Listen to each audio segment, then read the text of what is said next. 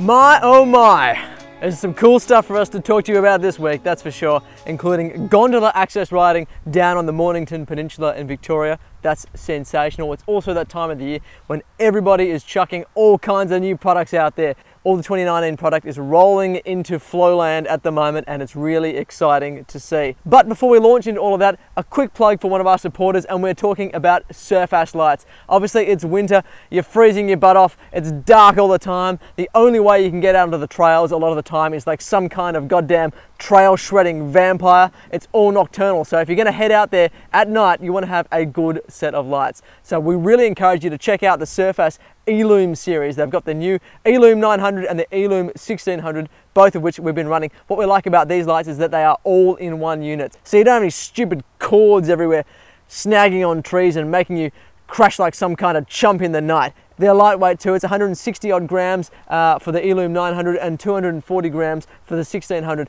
Bung the Elume 900 on your head, bung the 1600 on your bars, and suddenly you've got 2500 lumens of light. That is heaps many lights to turn the trails into something you can shred at night time. We highly encourage you to check them out. It's about 190 bucks for the Elume 1600 and less than 100 bucks for the Elume 900. So for under 300 bucks, suddenly the nighttime is your playground to go shred. And we think that is fantastic. If you like what we do here at Flow, please make sure you get behind some of the people who get behind us like Serfas.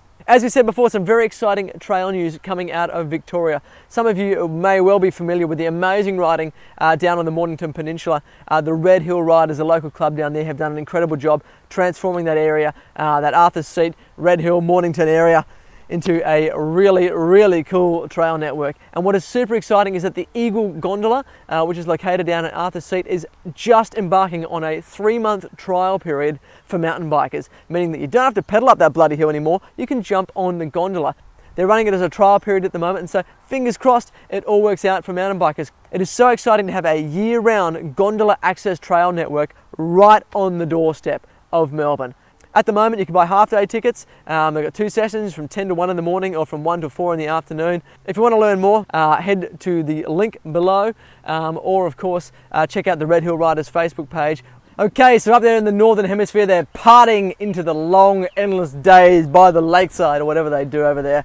And of course, they're also releasing all kinds of new bikes. The Santa Cruz 2019 Ranger was just released yesterday uh, highlighted in our mind by the new Bronson 3.0. Now this thing looks fantastic. It clearly draws inspiration um, from the Nomad with the same kind of uh, suspension layout and frame architecture. It's 150 wheels at the rear, 160 up front, rolling on 275 wheels. It's also plus compatible if you are plus inclined. It is of course longer and slacker, 15 mils longer in fact for every single size, which is a big jump. Uh, and it's steeper in the seat tube. We're starting to see a lot of brands doing this, really steepening up the seat angles because uh, if you're going to slacken the head angle, you need to make it steeper where you sit. Otherwise, it feels like you're pedaling a goddamn recumbent up the hill. We're going to endeavor to get one of these things on test very soon because they look ball-tearingly hot. Also new from Santa Cruz, the Blur Trail. They're doing a trail version um, of this bike now with 110 mils up front rather than 100 mils and with a dropper seat post. Cool, another brand that is doing a more aggressive version of their cross-country race bike. We are all for this. If you like to race but you want something that's a little bit more versatile, these are the style of bikes that you should be looking towards for sure. Speaking of cross-country race bikes, something rolled through our inbox this morning that really grabbed our attention. The new Canyon Lux range was released uh, at the end of June.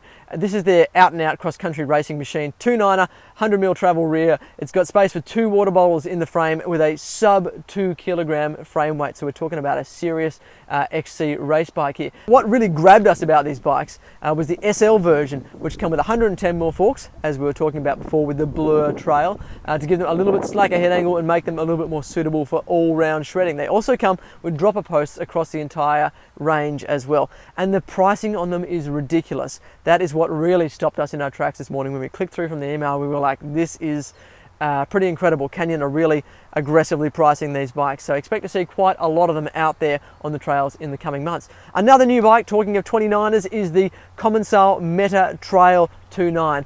Commencal rolled out a 29er version of the uh, Meta AM, their big hitting enduro bike, uh, not long ago, just a couple of weeks back, and they've now got the trail version of it coming out, and it looks hot.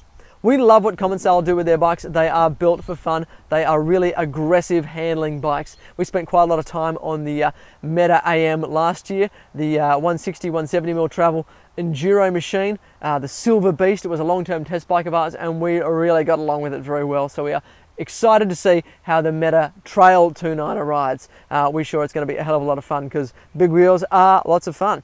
If you like your bikes with a little bit of battery power, that'll do it for this week. Oh yeah, and of course Sam Hill won the EWS last weekend as well, uh, making it three from four rounds for Sam Hill. If he doesn't wrap this series up, uh, we will eat our hat. Uh, so exciting to see Sam Hill just continuing his dominance as well uh, on that front. Thank you very much. That's Flow Lounge again for another week. If you like what we do, please subscribe to our channel and follow us on Instagram TV if you're an IGTV kind of person, because that is what all the kids are doing now. Make sure you have a look. All of our stuff is going to be going up on Instagram TV uh, from now on, as well as YouTube, as well as Facebook, as well as the website. So you can get it everywhere. Thanks very much. See you next time.